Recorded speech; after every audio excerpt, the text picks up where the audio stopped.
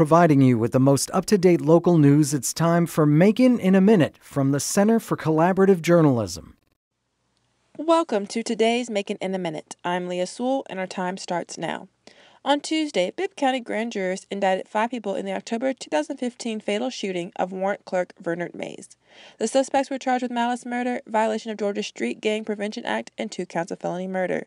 Contact the Telegraph regarding more information. Tuesday night, former Bibb County Commissioner Lonzie Edwards and incumbent Mayor Robert Reichert took part in a forum at Douglass Theatre. The two candidates stood in front of a crowd of more than 150 people, answering questions about poverty, jobs, and consolidation. Voters will have the chance to elect a new mayor on May 24th.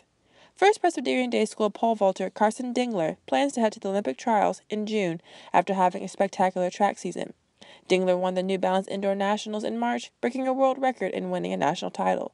The trials will take place in Eugene, Oregon, and Dingler hopes to be there to compete.